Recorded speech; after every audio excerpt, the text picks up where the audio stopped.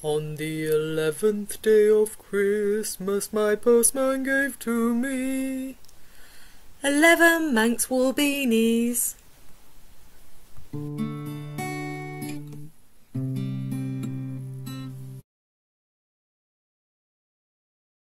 Hello and welcome to the 12 Skeins of Christmas. Okay, we've got two days left, so thanks for coming along with me. This has been really fun for me to do.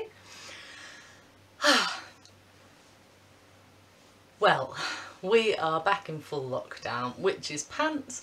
Not that I've been able to see many of my other friends because they're all in tier 4 anyway, which is a bit of a shame. Um, anyway, so I hope you're all okay, whether you're making plans to work from home, missing your friends or going back to work or being on the front line as a key worker or if you're just in the middle of nowhere and you're isolated anyway, it doesn't change much. I'm sending out, I'm sending out optimistic good vibes for the new year to everyone and hugs from a safe distance. Right, it's been lovely to read your comments and to hear what projects you have planned for the next year, so hopefully we'll get through this together. In today's 12 skeins I'll be talking about Jenny and Rawdon's yarn and they make lovely Manx Loaghtan yarn from their shop on the Isle of Man where they have 900 acres.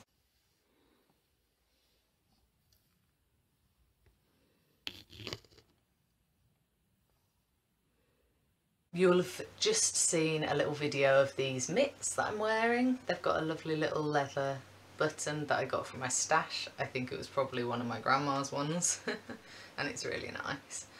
Um, but I have had second mitt syndrome and I haven't made the second one so I might end up fixing the thumb a bit.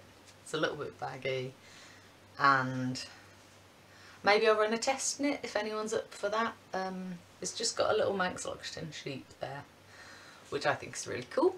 Jenny and Rawdon's farm is based in the Isle of Man. So the Isle of Man is a little island in the northwest of England and it's probably most well known for the TT um, motor racing rally that they have every year in sort of May and June time. It's been cancelled this year but it must be amazing it must have um, you must get such a unique view of the island from there. Um, apparently the island gets completely overpopulated and um, I didn't I didn't really know my granddad but I know that he used to go to the TT racing rally sometimes to visit the Isle of Man because he was he loved motorbikes he went on loads of epic adventures and took um, photographs of him on his bike and of the scenery in I think it was the Alps, anyway, big mountains. so it must be an absolutely lovely place to live and I'll talk a little bit later about um, Jenny and Rawdon in question time. So, the wool that I received from ML Produce, um, uh, you probably can't see that but I'll put in a little picture of the wool.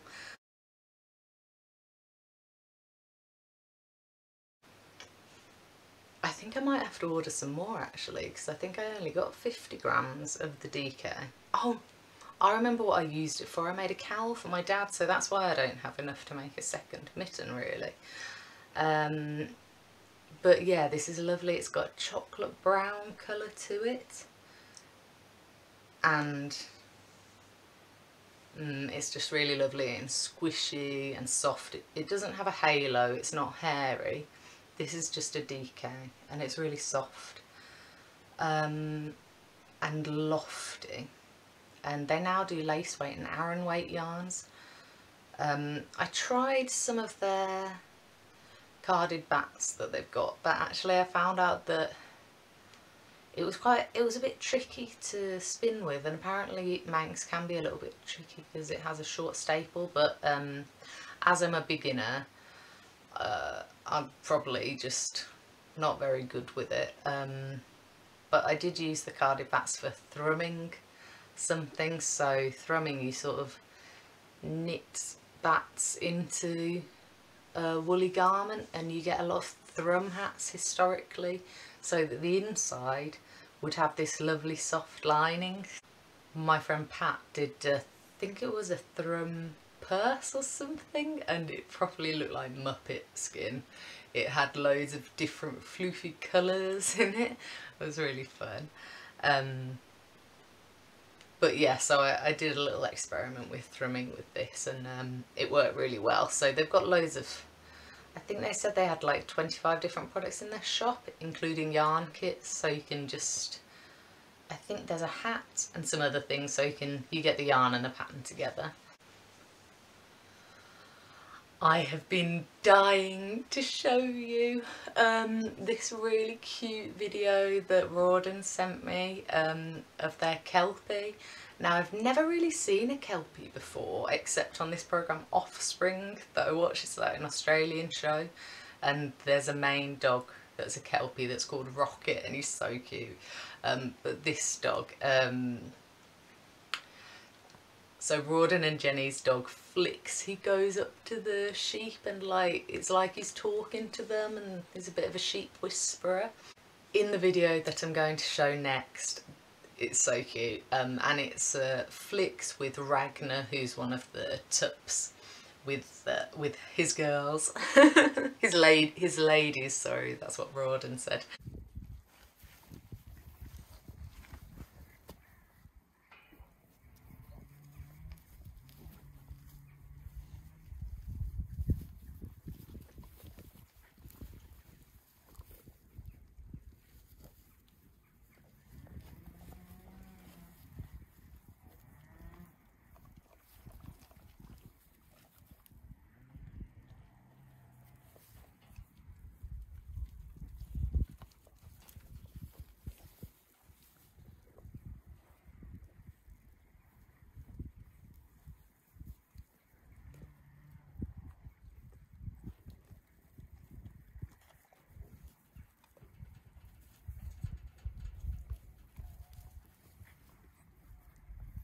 Oh, so I hope you enjoyed that video, it's so cute. Um, and now it's question time. So I asked Rawdon, how did you start making your wool? And he told me that Jenny originally started with six Manx Loaghtan sheep and then eventually she got a good tup and they managed to increase the flock. Um, they were mainly used for lawn mowing. I think that's how a few people start really. So as the flock increased year on year, they were making wool, but they weren't really making anything with it. They were selling it to the wool board. Um, but they thought they might just talk to a UK spinner and get some made. So they came away with about 1800 balls of Aran and DK wool and they decided to build a website and then try and sell it online. So within 14 months they'd sold all of that batch. Uh, Jenny then took back the family's 200 acres and now they've got a 900 acre farm in total. In 2019 they built the Manx Loaghtan wool shop on the farm as vis a visitor attraction and that looked like it was going to be very promising but then COVID-19 struck and I think the Isle of Man pretty much shut its borders or you had to isolate um, so they was, they've still been progressing with the toilet block for the shop. And they've got a paddock where people could come to see the sheep when we return to some sense of normality, hopefully later this year. Really crossing fingers there. Um, yeah, and they said they produce 22 products for their shop and they sell worldwide. And I'll show you one of their worldwide customers' garments later. Number two, what is your favourite part of working with the sheep? The most wonderful part of working with the sheep is that they all have their distinct characters. Being primitive sheep, some are natural leaders and they tend to monitor the weather for the rest of the flock. We farm in a different way to established sheep farms as the primary product is wool and then once the sheep have grown up a bit um, and the, meat, the meat's actually supposed to be nicer, mutton's supposed to be really nice and hogget as well. Um, anyway, but when they're older, they'll be, they'll be sold for meat. The best wool comes from the shearlings and the wethers. This means that we keep our wethers for up to five and six years of age as they consistently produce good wool.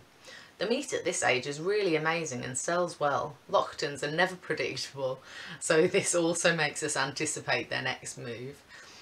There's a saying that if you want to keep Loaghtans, you must have a good lid on your field, as they're really great escapologists. I've, yeah, I've heard that. Um,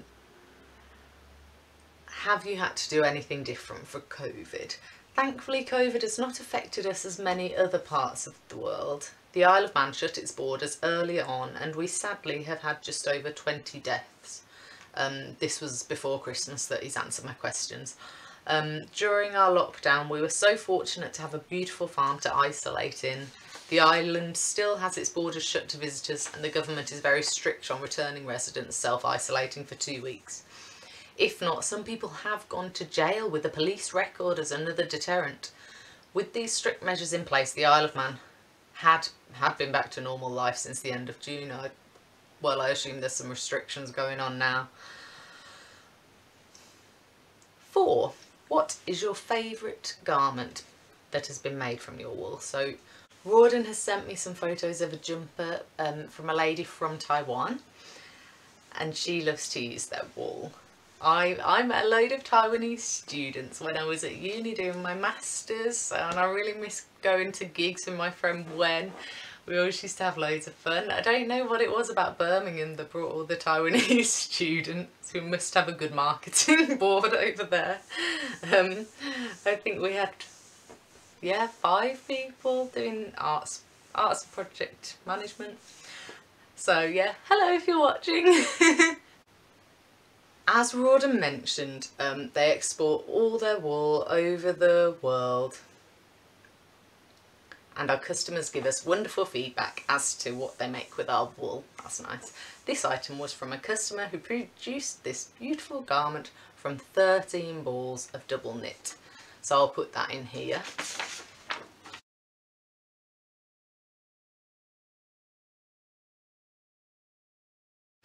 Thanks Jenny and Rawdon for sending me that. That's been really lovely to be able to talk about your wool and I'll definitely be getting some more to finish off these mitts that I've been doing.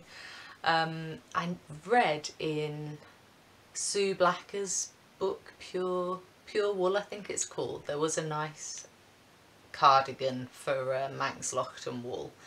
Uh, it was really textured and the stitch definition with this is really it's quite good. I've done a little chevron and some ribbing here and it really comes out well. I've washed these so it still holds up after washing.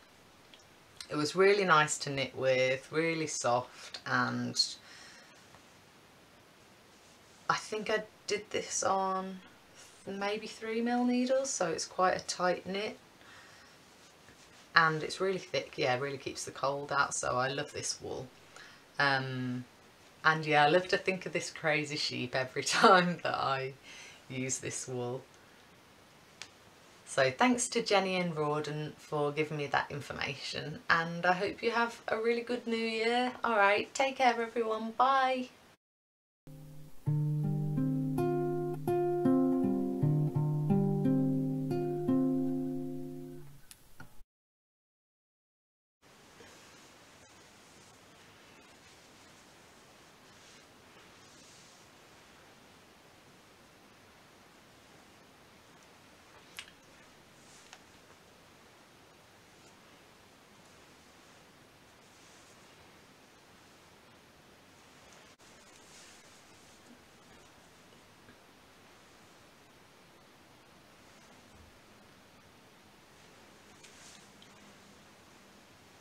Still smells of sheep. um, yeah, and actually I know I wasn't meant to cast on anything else before I finished that jumper, which I will be able to focus on now, now I've finished all my 12 skeins videos. Um, but I did Ange from Yarn and Yarns' Bad Influence because I did cast on this. Um, puffball cowl because I was tidying up the other day and I just wrapped all the scraps and I ended up with uh, a yellow scrap ball and I just thought oh I'll, I'll just do a little crochet cowl. And it's actually really nice and thick. Well except for where the holes are but I hadn't decided on what pattern I was going to use yet and I think the tighter knit the tighter crocheted version of the puffball is going to be a really nice one and I've just used, this is what I was saying, this is dyed with turmeric but it looks just like the Tormentil which is this colour. Um, yeah, so I love these colours together. uh, but I probably won't really do that. Um, I'll focus on my other knitting stuff. But yeah, um, I have been following the 12 cast-ons of Christmas and that's been a really fun one to watch. Even if I wasn't meant to cast on any more things. What do you call it? Do you call it casting on when it's crocheting? I don't really know. I just mess about with crochet really. I can just about crochet a tea cosy, granny squares and normal skeins. Um, I might try and pimp up my crochet paper chain party to make it look a bit fancy. Um, because it's not the most exciting paper chain at the moment but if you do want to look at the tutorial you can have a little go on that. Um, oh, I'm trying to remember what I said before I accidentally didn't press record. Um, it's been nice to watch Angie's videos because no one else seemed to be doing anything at the start of the year. I think everyone had gone into hibernation, you know, that period of time between Christmas and New Year. Um, but I had watched Char Charlie Button Yarns had done a podcast video and who else? Oh yeah, I was talking about Fibre Tales, wasn't I? Because she's Danish and she's got a lovely accent to listen to. It's really nice to watch a bit and and listen a bit. And she was just talking about struggling to write patterns and how that wasn't the most fun part of her job and she just really liked designing, which I totally relate to. I wrote a pattern last night in like an hour and I thought, oh, I need to do more simple patterns like this because when you get into socks it seems to be lots of counting. I don't, maybe I'm writing the pattern a bit too tricky so I need to work on that. Um, but, oh yeah, I was watching the Bearded Pearl podcast. They're so funny, Caleb and Justin. They're like, I do more knitting than you.